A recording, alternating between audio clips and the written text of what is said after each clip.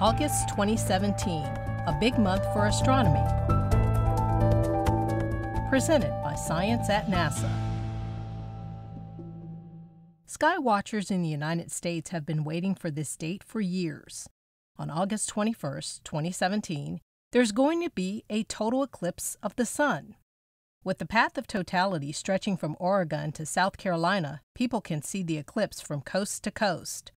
The timing of the eclipse will provide the opportunity for viewers to see one of the biggest astronomical events of the century, just a few weeks after enjoying one of the biggest meteor showers of the year.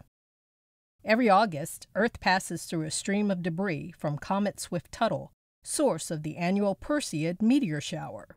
This year, the shower will peak on the nights of August 11th, 12th, and 13th.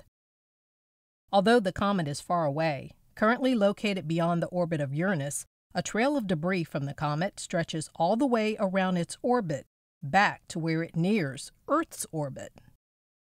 As our planet crosses the debris zone, the upper atmosphere will be pelted by specks of comet dust traveling 132,000 miles per hour. At that speed, even a flimsy speck of dust makes a vivid streak of light when it disintegrates a meteor.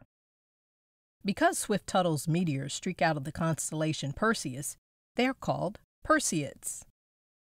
Astronomer Bill Cook of NASA's Meteoroid Environment Office offers these observing tips. If it's not cloudy, get away from the bright lights, lay on your back, and look up. Remember to let your eyes get adjusted to the dark. It takes about 30 minutes. You'll see more meteors that way. You don't need to look in any particular direction. Meteors can generally be seen all over the sky. Not all the meteors you'll see belong to the Perseid meteor shower. Some are sporadic background meteors. Others are weaker showers also active in August, including the Alpha Capricornids the southern delta Aquarids, and the Kappa Cygnids. But the vast majority will be Perseids.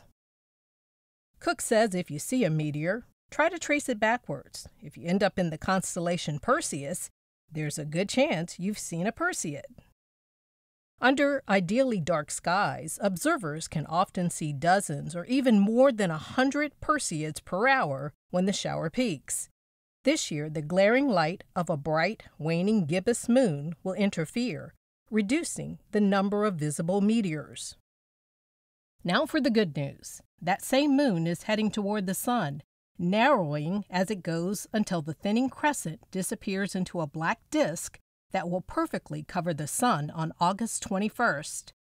A meteor shower, followed by a total solar eclipse. August doesn't get much better than that. For more news about backyard astronomy, stay tuned to science.nasa.gov.